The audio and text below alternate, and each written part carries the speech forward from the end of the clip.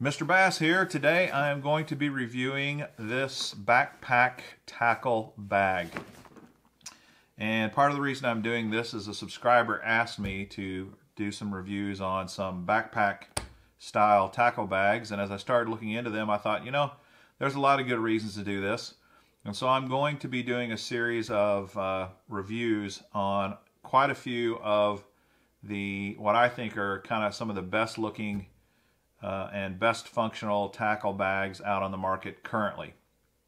So I'm, I'm starting with this bag from Bass Pro Shops. This is called the Advanced Anglers 2 backpack. Um, this is this green uh, series of bags, the Advanced Angler bags, were actually originally from Cabela's. And I bought several of the of their regular tackle bags at Cabela's years ago to use as a co-angler. They are practical bags, they are solid, sturdy bags, and they have some really nice pockets and features that uh, are really good for co-angling. Uh, one thing that I think uh, that is important is as a co-angler, I fish tournaments as a co-angler a lot of times on the BASS Opens and on the Toyota Series uh, now. And you need a bag that's functional, but that also is portable. And I don't generally use a backpack as a co-angler. I have another bag that I really prefer, but I know a lot of co-anglers do use backpacks and it makes a lot of sense because you've got to be mobile. You've got to be able to get all your gear from your vehicle down to a boat somewhere. A lot of times there's a lot of walking involved. So the backpack idea makes sense and hopefully this will help some of you guys that are thinking about fishing as co-anglers or are already co-anglers looking for tackle bags.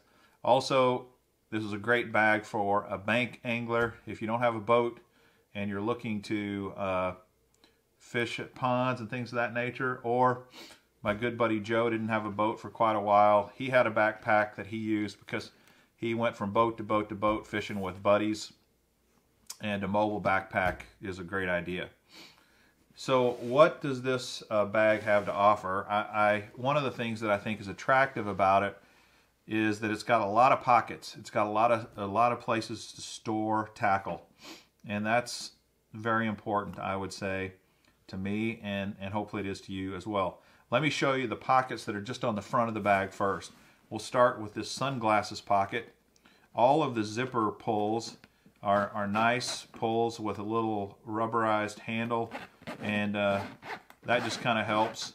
I, I don't like that the zippers are not YKK zippers. They're a cheaper brand of zipper, and I think over time, as I've looked at this bag, my guess is that the zippers are going to be where you get the failure at some point uh, over anything else.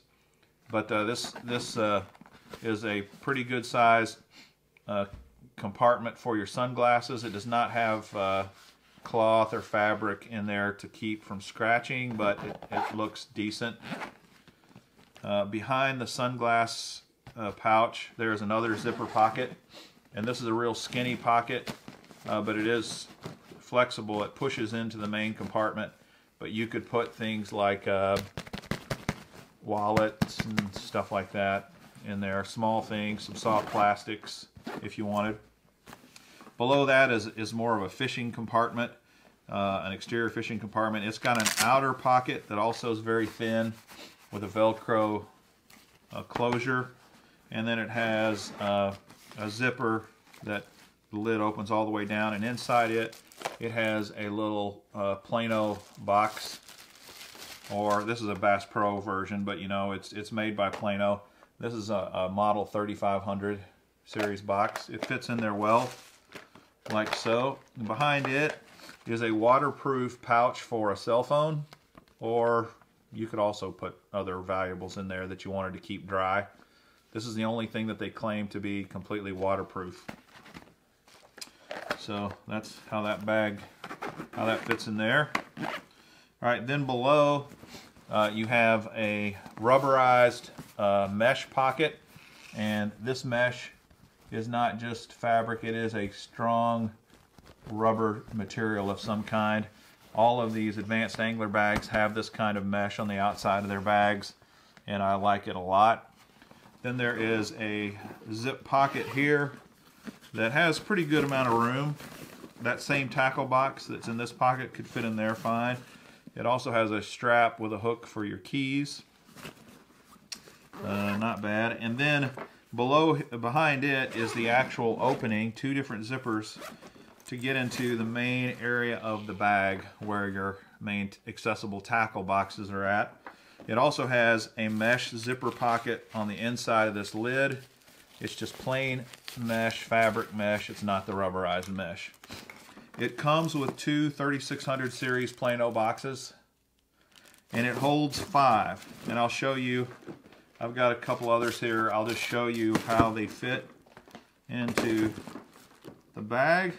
So you can see, obviously as a co-angler, you would be taking as much tackle as possible. So you would use all five boxes. But they fit well and wouldn't be an issue. The only thing I'm not super excited about is, as a co-angler, I think speed and convenience is really important. And this lid, because it's kind of super floppy, just does not zip up very well. Let's see, there it goes. And fishing as a co-angler over time, that would really start to annoy me. So I don't like that, but other than that, I think it's fine. Uh, I'll, I'll, just say while I'm thinking about it, the material here is a 600 denier fabric. It uh, is uh, rip resistant and it's water resistant, but it is not waterproof. So just keep that in mind. If you have this bag out in the open, raining, uh, it's going to get wet. But they have a solution for that. There's a zipper pocket here in the back, and they have a built-in rain cover right here for it. So let me just show you what that looks like if you put it on. Actually, I tried this before, and I think the way you want to do it is it's attached with the strap. If you run the strap underneath to the front of the bag, then this goes, stretches over the front like so. And then you can kind of cram all these straps and put them inside the rain cover. Pull it up. It does leave an open hole in the back, so it's not complete, doesn't cover the entire bag, but the vast majority of it is covered. And that's a nice deal if you know, well, if you fish as a co-angler out on a bass boat, you're gonna have to fish in the rain sometimes, and it's nice to keep your tackle dry, especially if you got a multi-day event that you're fishing, when a lot of those tournaments are two and three, sometimes even four days. So that's nice. Not all of these backpack bags have a, a rain cover and uh, it just fits very nicely in the bottom of the bag, zips out of the way, and I think that's a very nice feature for sure. It also has some pockets on the sides, and these are identical on both sides. Uh, they have compression straps on either side, which is nice if you, you're wanting to compress it down if you're planning on hiking a long way. Compressing the pack down it makes a lot of sense. Also, if you're traveling, it's a good idea to use the compression straps. But they got two big, long pockets on either side, both sides. They go all the way down long cylindrical pockets. You could use that for a lot of things, including large water bottles if you wanted. There's a mesh pocket on the outside that you could put spools of line in. You could also use for water bottles. In fact, I'll show you how a water bottle fits in there. This is a 16 ounce bottle and it fits quite well in there. There's also a pocket here for tools, pliers, uh, that kind of thing. It's velcroed. I've got a pair of pliers here. I can show you how it fits in there. A pair of needle nose. And with a velcro closure, it fits and holds in there quite nicely. And of course there's one on this side too. There's two, two of each. Two mesh pockets, two tool holders, two long pockets. So that's the sides. Then you have a main compartment that uh, you can access. Got two zippers here all the way around if you like. the zippers come about three-fourths of the way down, but they don't go all the way down. And to me, that's unfortunate because you cannot open this completely up. And I think it would be nice to be able to do that. Uh, but when you open it, you have access to the same five tackle boxes that, that you could get in the front. You can get this way. There's also a little velcroed shelf that's attached here. And as you can see, you can take it completely out if you want. But you could put stuff in here but you can't put a 3600 size box it won't fit you could if you kind of stood it up on an end like that uh, but because the bag curves down it takes some of the space out of the top portion there. But it's definitely more storage space. Uh, then in the back side of the back there is a big pocket here that uh, has a 3700 box. This comes with the bag. Uh, it also uh, you could put a hydration bladder in here. They have a loop here to hold the hydration bladder, and they've got a hole through the top for your um, hose to drink out of. So it is uh, bla hydration bladder compatible.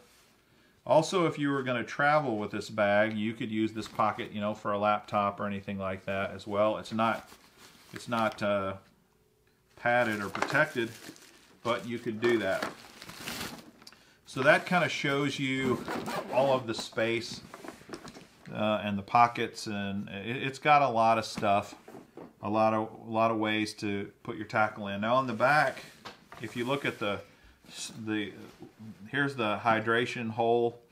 Uh, it has a handle, carry handle. It has two padded straps with airflow mesh. You can see that probably, along with these mesh padded airflow panels so that you can get some air circulating behind between your back and the uh, pack, which is nice, especially on hot days. It also has these MOLLE loops that you could use to attach, you know, whatever you wanted to if you were going, if you're really hiking long places. It also has a chest strap and a waist strap. So uh, if you're really wanting to take a bag into the bush and hike hike to your favorite little pond or lake out in the woods somewhere, this bag is really made to, to do that. Let me show you how it fits if you wear it. It uh, has adjustable shoulder straps and they're comfortable. Uh, the the little uh, loops here, hooks, whatever you call these things that the that the straps go through feel kind of cheap to me. But it does have a sternum strap here for long journeys, which is good. And of course you've got the waist strap and you can tighten it both directions like that. It fits on the back quite well. Um, you know, I think, gener think generally speaking, it's a very decent bag. And uh, would I recommend this for a co-angler? It, it really depends. I, I feel, generally speaking, although it's got a lot of things I would be looking for as a co-angler, it does just feel like the quality's not just awesome.